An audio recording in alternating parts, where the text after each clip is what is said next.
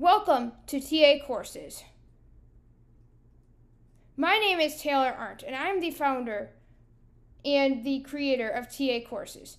TA Courses existed because I needed a place where I could host my WordPress course, which is currently going on at this current moment.